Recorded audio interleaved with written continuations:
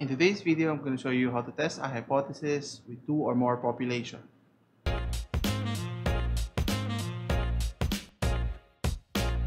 Now, there are many ways to test a hypothesis ranging from z-test, t-test, chi-square test, and f-test. So the next question you ask yourself is, how do you know which one to use? Well, it all depends on the sample size and the number of population or groups. Let's say you have a business in retail comprising of three stores. You want to conduct a survey to find out customer satisfaction.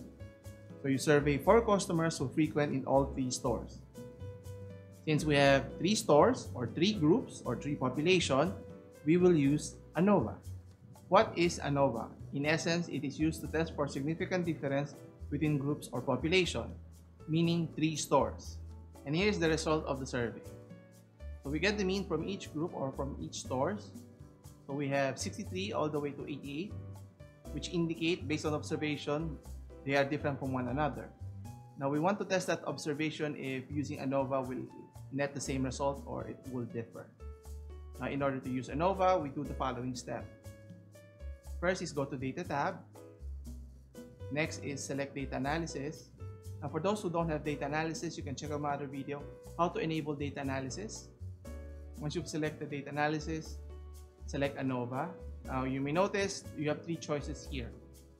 Since our assumption here is based on observation, we will use ANOVA single factor, which is based on the factor of stores. So go to input, select all three columns from store 1 to store 3. Once done, go to groupings, make sure it's highlighting columns. Next is check the box that says labels then next, make sure the level significance is 0.05. Then your output display is, in my case, I prefer the same worksheet.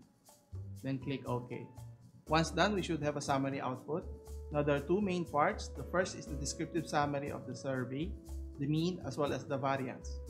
So the mean is the same as before. Ranges from 63 to 88, while the variance indicates a highly dispersed data set or result. The second table is your ANOVA, in particular the p-value.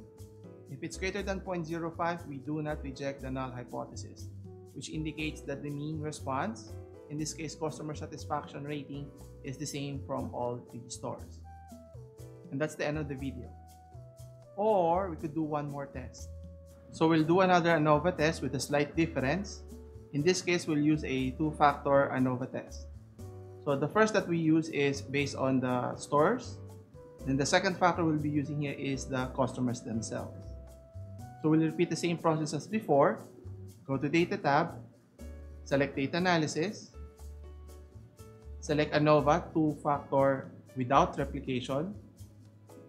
Next is input the dataset.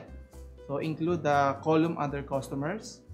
Then select also the stores from store 1 all the way to store 3. Then next is groupings by columns again. Check the box for labels, then the level significance, then the output, then select OK. And you clearly see here, based on the summary output, there's additional information provided. So you can see here not just the means for the columns in terms of stores, but you can also see the rows in terms of customers, the means as well as the variance. So you can see here that the mean as well as the variance differ from one another and they're widely dispersed. And looking at the ANOVA table, in particular the p-value, it's less than 0.05, which we will reject the null hypothesis, which means or indicate that the mean from the different stores are different from one another. To sum up, single-factor ANOVA is based on observations. On the other hand, two-factor ANOVA is based on experimental design. Now, is one method better than the other? Not necessarily. It all depends on the application and what it's used for. And that concludes our video. If you find this video helpful, hit the like and subscribe button. You can also leave your comments down below to suggest topics on future videos. For more guides, tutorials, and tips, you can check out my other videos. Thanks for watching. I'll see you in the next one.